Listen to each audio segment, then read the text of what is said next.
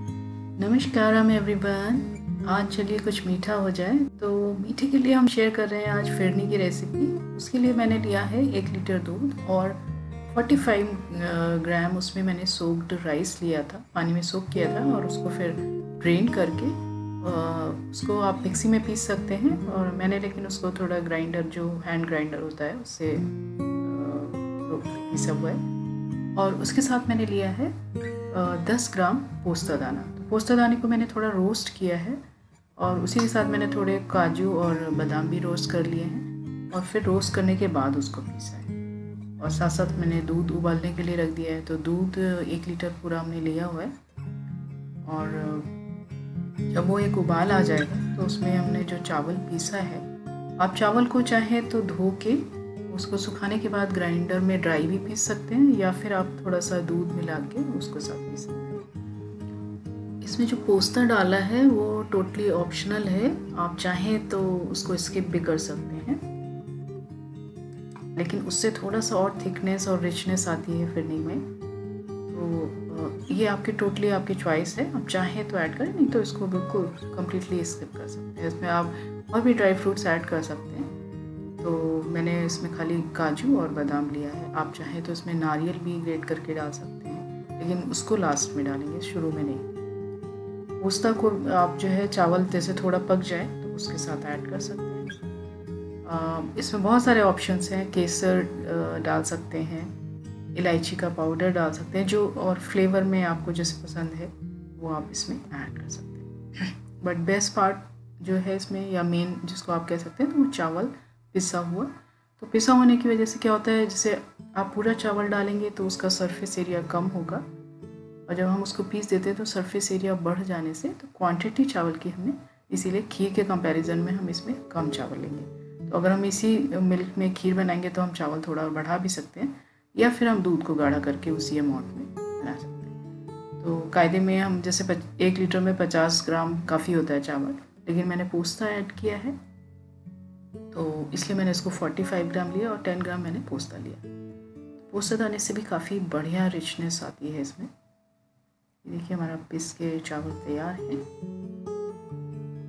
आप इसको और फाइन कर सकते हैं। तो, तो मैंने थोड़ा सा मिल्क मिला के इसको थोड़ा और पीसा है। उसके बाद जब इसको ऐड करेंगे दूध में तो भी इसमें दूध मिला के थोड़ा सा उसको इन करके फिर चलाते हुए आपको ऐड करना है।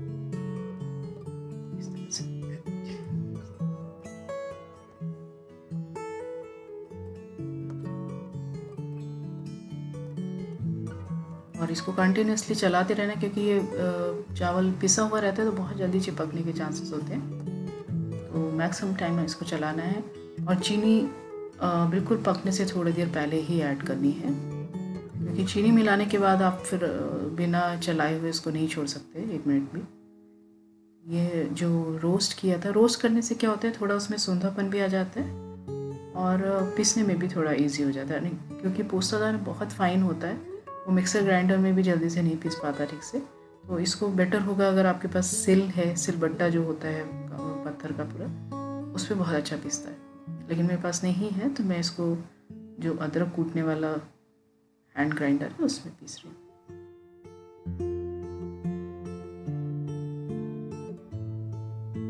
देखिए देखिए हमारी खीर सॉरी फिरनी नॉट खीर काफ़ी पक चुकी है। और इसमें बस मेन है आपका चावल थोड़ा पक जाए और आप जितना गाढ़ा रखना चाहें। वैसे तो उसकी एक थिकनेस होती है जैसे अब ये देखिए, बढ़िया थिकनेस आ रही है। थोड़ा देर हमें और अभी पकाना पड़ेगा। और जब पक जाएगा चावल, उसके बाद ही हम इसमें चीनी ऐड करेंगे। तो चीनी की क्वांटिटी भी या शुगर जो भी आप जैगरी जो भी आप ऐड करना चाह रहे हैं, वो एक तरह से चावल की क्वांटिटी का डबल लेना है। लाइक हमने 50 ग्राम लिया है।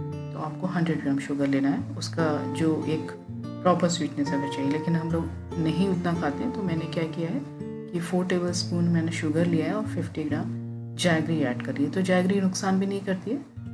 तो इसलिए उसको थोड़ा सा मैंने वैसे प्रॉपर जो गुड़ आते हैं डली वाले, वो लेके उसको बारीक कूट लिया था थोड़ा और फिर ऐड किया और लास्ट में मैंने थोड़े इलायची दाने डाले। तो आप इलायची दाने भी डाल सकते हैं या फिर आप उसको क्रश करके इलायची पाउडर बना के वो ऐड कर सकते हैं। आप चाहें तो इस स्टेज पे केसर लीव्स भी ऐड कर सकते हैं। तो केसर लीव अगर डालना है तो वो भी पहले दूध में थोड़ा सा, थोड़ी देर सोक करके तब डालिए। ये देखिए मेरी फिरनी तैयार है।